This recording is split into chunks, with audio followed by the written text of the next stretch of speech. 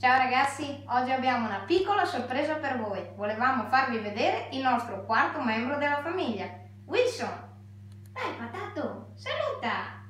Vai! Vai! Ciao Wilson!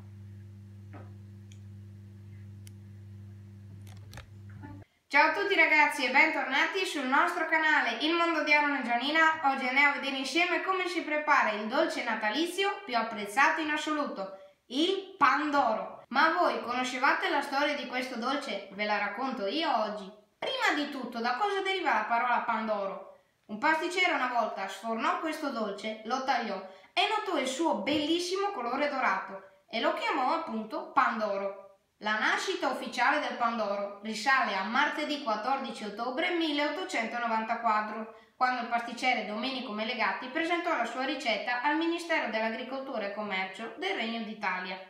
Prese spunto da un'antica tradizione veronese, nella quale le donne dei villaggi durante la vigilia di Natale si trovavano per impastare il levà, che era un dolce lievitato e coperto di granella di zucchero. Lui tolse la granella di zucchero, mise lo zucchero a velo, aggiunse anche uova e burro e creò la sua ricetta. Quindi l'impasto c'era, ma la forma mancava. Quindi si mise d'accordo con un suo caro amico e bravissimo pittore veronese Angelo da Loca Bianca e costruì per lui la forma del Pandoro, che è quella che conosciamo oggi, una piramide tronca con le otto punte, che distingue questo dolce da qualsiasi altro. Oggi andiamo a vedere insieme come si prepara la nostra versione. Iniziamo la ricetta con il lievitino. Mettiamo in una ciotolina 60 ml di acqua tiepida, 50 g di farina manitoba, 4 g di lievito secco, un cucchiaino di miele e un tuorlo d'uovo. Mescoliamo per bene con un frustino, poi copriamo con pellicola alimentare trasparente e lasciamo lievitare nel forno spento solamente con la luce accesa per un'ora o fino al raddoppio. Guardate un po' com'è venuto bene il nostro lievitino. Adesso lo andiamo a trasferire in una ciotola bella capiente insieme a 200 g di farina manitoba, 2 g di lievito secco, 25 g di zucchero semolato, un uovo e 40 g di burro morbido. Mescoliamo per 5-7 minuti, ossia finché diventerà bello liscio ed omogeneo.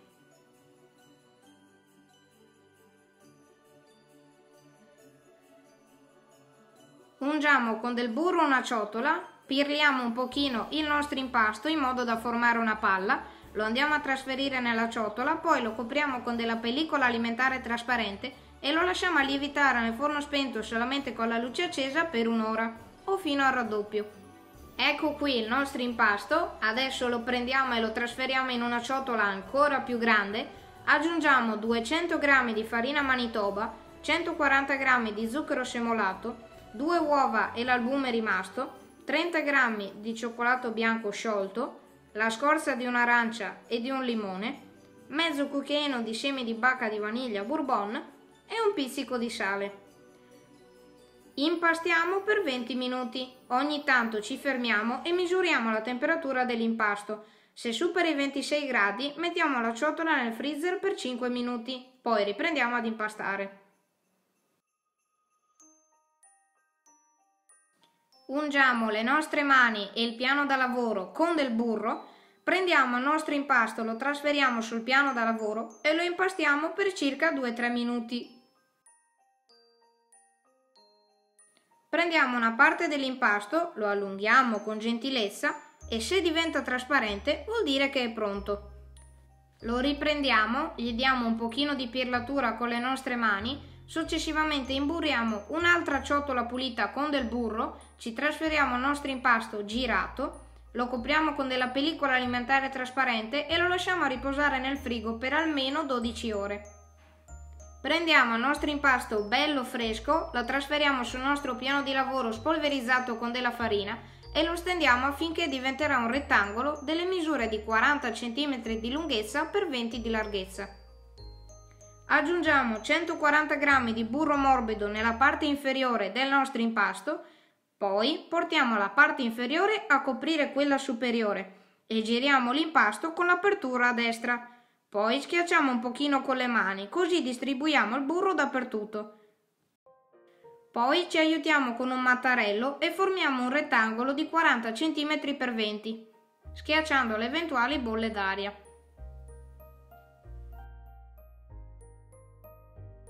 Adesso possiamo fare la nostra piega a 3, quindi portiamo la parte superiore circa a metà dell'impasto, con la parte inferiore copriamo poi giriamo la parte dell'apertura a destra. Successivamente schiacciamo un pochino con le nostre mani l'impasto, lo copriamo con della pellicola alimentare trasparente e lo lasciamo a riposare in frigo per un quarto d'ora. Poi riprendiamo il nostro impasto, lo ristendiamo finché non diventerà un rettangolo di 40 cm x 20 e facciamo di nuovo le pieghe a 3. Successivamente lo schiacciamo con le mani, lo copriamo con la pellicola alimentare trasparente e lo lasciamo a riposare nel frigo per un quarto d'ora. Per la terza e ultima volta riprendiamo il nostro impasto, lo ristendiamo finché non raggiungerà le misure prestabilite di 40 cm x 20, rifacciamo tutte le nostre pieghe a 3,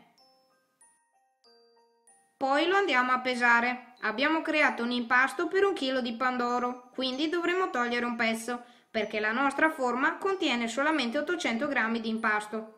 Guardate che belle che sono le sfogliature. Prima formiamo una palla con il nostro impasto, poi lo perliamo in modo da dargli più rotondità. Subito dopo lo trasferiamo in una teglia imburrata. Mettiamo la parte liscia nella parte sotto. Successivamente lo andiamo a coprire con della pellicola alimentare trasparente e lo mettiamo in forno già preriscaldato a 50 gradi e prima di aggiungere il pandoro spegniamo il forno lasciando solo la luce accesa. Lasciamo tutto lievitare per 6 ore o fino a che non raggiungerà l'orlo. Guardate com'è venuto bene il nostro impasto. Adesso togliamo la pellicola e scaldiamo il forno a 170 gradi statico per 20 minuti, così sul nostro pandoro si formerà una leggera crosticina in superficie. Lo cuociamo per 15 minuti, soltanto che dopo 10 minuti lo copriamo con un foglio di alluminio Passati 15 minuti abbassiamo a 160 gradi e continuiamo la cottura per 30-35 minuti. Mi raccomando, dobbiamo fare la prova a stecchino. Appena sfornato misuriamo la temperatura interna, che dovrà essere sui 97 gradi. Ciò significa che è pronto.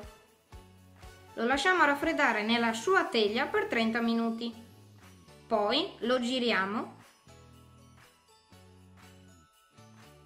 e con delicatezza tiriamo via la sua forma. Infine lo copriamo con un canovaccio e lo lasciamo a riposare per tutta la notte. Come vuole la tradizione, spolverizziamo con abbondante zucchero a velo vanigliato per completare la sua bellezza e unicità.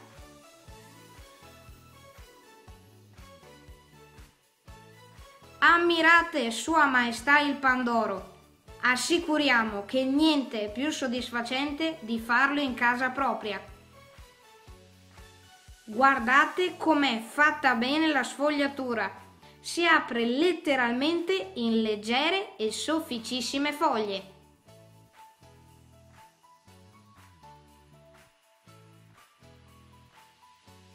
Notate come si vede bene la divisione della sfogliatura.